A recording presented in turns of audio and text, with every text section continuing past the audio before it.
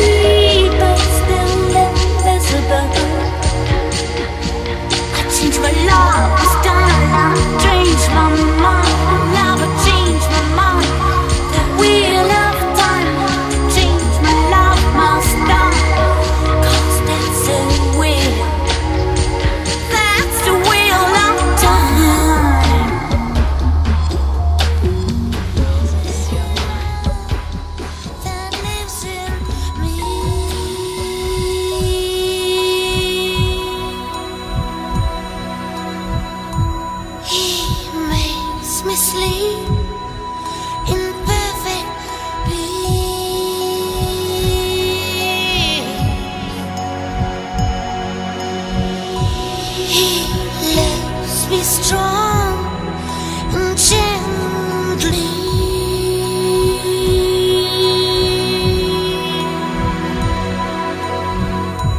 He doesn't try to change me.